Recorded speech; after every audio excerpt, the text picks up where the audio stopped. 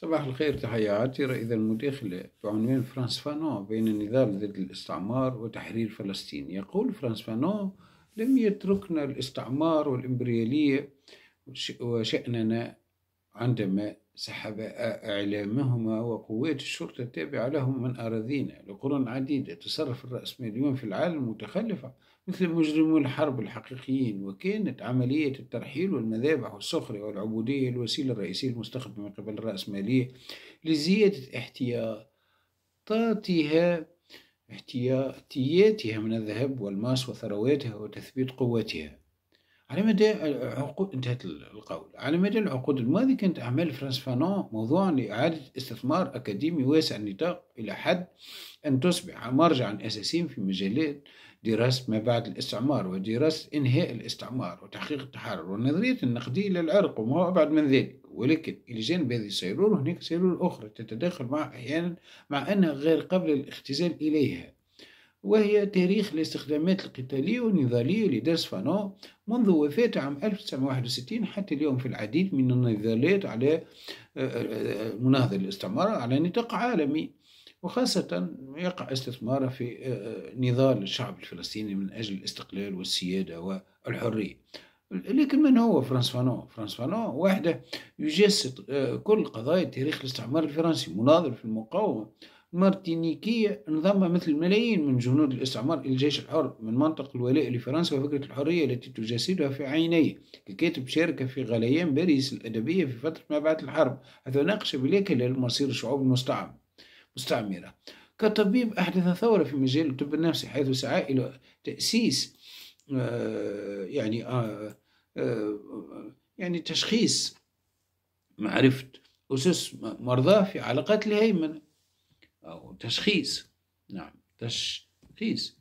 آه، آه، أسس وأسباب مرضى في علاقات الهيمنة في المجتمعات الاستعمارية ناشد في يجمع من خلال عمله وتاريخ غضب الناس الذين سحقتهم قرون من القمع الاستعماري. من ناحية مقابلة شهدت العقود الأخيرة آه، ظهور أبحاث يعني التي تجدد تجدد الطريقة التي نفهم بها فلسطين و الفلسطينيين. وتعكس هذه التوجهات والنماذج بشكل خاص المأزق الذي يجد المشروع الوطني الفلسطيني نفسه فيه واستمرار الاستعمار الإسرائيلي والأزمات والصراعات الدائرة على مستويين الإقليم والعالمي. المتداخلة فيه أو حتى تطور الأطر والأدوات والعلوم الاجتماعية. إن ما يحدث اليوم في إسرائيل في الكيان الغاصب وفي الأراضي المحتلة يدعونا إلى إعادة قراءة أعمال فرانس فانون والتفكير في مسألة الاستعمار والهيمنة والعنف ضد إطار تحليلي ذو ضمن إطار تحليل ذو أهمية دائمة لتحديد الآفاق وتصور ظهور البدائل آه، والسياسية. من الإطار الاستعماري أو بشكل أكثر دقة الاستعمار الإستيطاني فيما يتعلق بالوضع الإسرائيلي الفلسطيني ليس ملاحظة مهينة. تسمح آه، ليس ملاحظة هينة آه، تسمح بعنوان إستفزازي. آه، ولكنه مجال دراسة راسخ ومتوسع باستمرار وواجهت الانتفاضات هذا التوزيع للسلطة. خلف الجبهات يقدم رحلة عبر عقولنا وعلى طرقات فلسطين وفي إرث فرانس فانون يشهد على استراتيجيات الاحتلال وعواقبها النفسية وأدوات الفلسطينيين في مواجهتها. في هذا العمل بأصوات في هذا العمل بأصوات متعددة تترقص مقتطفات من الوقائع والمقابلات والهروب الشعري جنبا إلى جنب مع ما لا يمكن رؤيته في الشوارع والمناظر الطبيعية الفلسطينية. ومن يعني آه، آه، هذه فلسطين المجزأة يتقسم النساء والرجال ذو الهويات المتعددة الاجتماعية والجغرافية والثقافية والسياسية التوجه الديني مقاومتهم وصمودهم واستبسالهم في الدفاع عن أراضيهم. ولأن الاستعمار اليومي لا يقتصر على الأرض والسماء والسكن والمياه فهو ليس على فرض نفسه بقوة السلاح فحسب بل يحمل أيضا على العقول خلف الجبهات. لقد كان فرانس فانون طبيبا نفسيا وفيلسوفا ثوريا وكاتبا وقد ساهمت كتبه المؤثرة بشكل كبير. بما في ذلك كتابه البشرة السوداء والأقنعة البيضاء. في إثراء مجموعة واسعة من الدراسات وألهمت الحركة الثورية من فلسطين إلى سريلانكا وجنوب أفريقيا. كانت سيرة حياة فيلسوف المارتينيك تجربة تحررية بامتياز وأعماله الاستثنائية من شأنه من منذ نشأته في المارتينيك آه، تضاف إلى جهوده الناضجة يعني آه، آه، لدمج التحليل النفسي مع الفلسفة تتحدث مباشرة عن نضالة اليوم ضد العنصرية والاغتراب والاستيطان بالنسبة لفرانس فانون فإن تحرير الشعوب المضطهدة والمستعمرة لا يمكن أن يكون نتيجة لعملية سحرية أو صدمة طبيعية أو اتفاق ودي إنساني عالم ثالث. وإنما هي حركة ثورية تعمل على تطوير الوعي آه، دون السماح لنفسها بالبقاء في فخ الجوهرانية.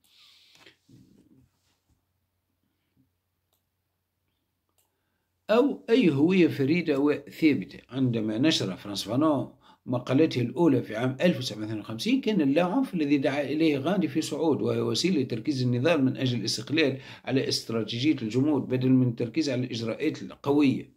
قد قادته ملاحظة فانون النفسية نحو طريق أخرى. ينتج النظام الاستعماري أمراضا وعصابا محددا للغاية ولا سيما العنف الموجه ضد الذات. يفسر فانون الإفراط إجرام في الإجرام السكان الأصلي في إجرام في الإجرام على السكان الأصليين في شمال آه، أفريقيا مثلا على أنه آه، ليس باعتبار رجعية بل كتعبير عن حرية مقيدة لا يمكن توجيهها إلا ضد نفسها ومع ذلك في رواية في كتابة بشرة سوداء أقنعة بيضاء لا توجد حتى الآن مسألة صريحة تتعلق بالنضال من حيث التمرد ينتهي المقال بمنشد ضمير المتكلم من أجل كرامة ال ال يعني الإنسان الأسود.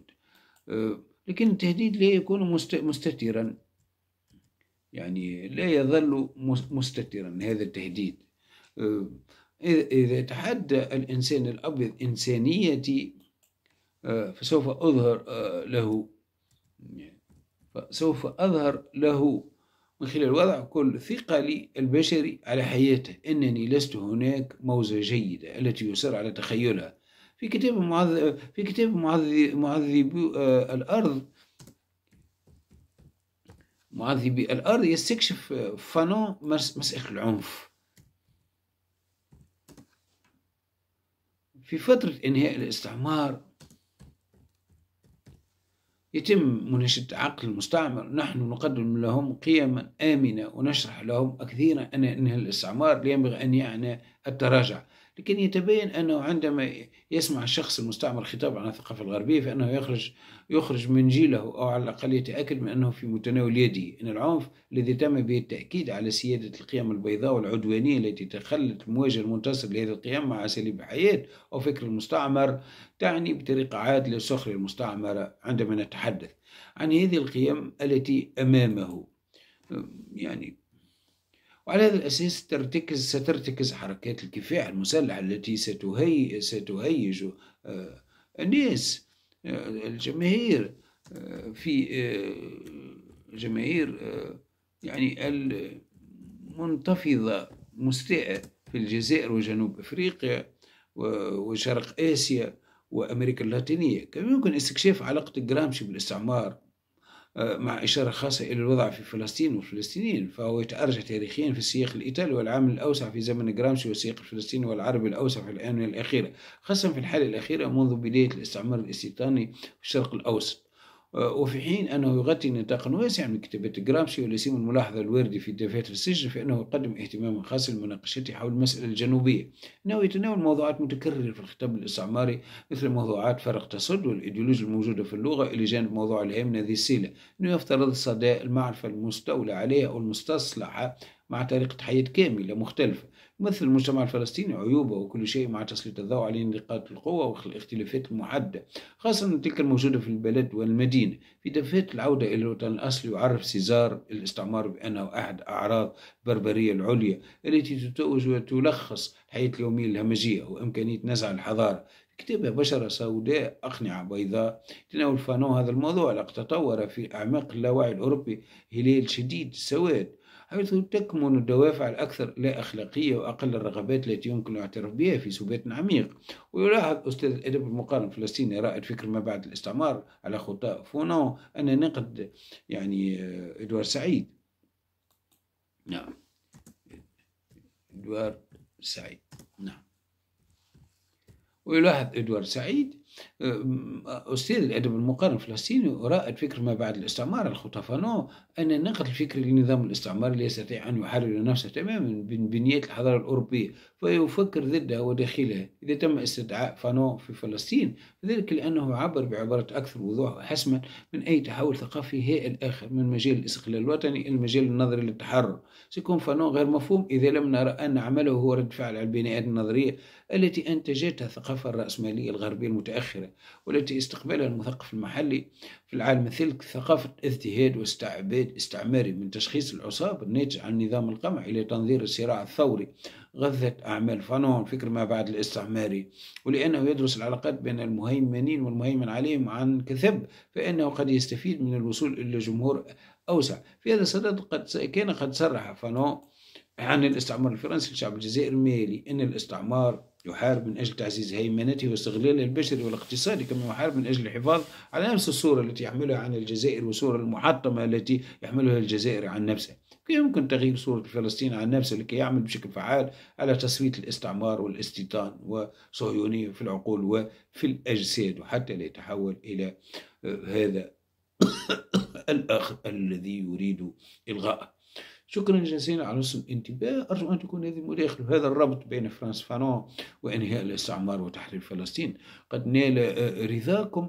آه، هذه مداخلتنا عن القضية الفلسطينية من زاوية فرانز فانون وصراعه ضد الاستعمار. إلى اللقاء.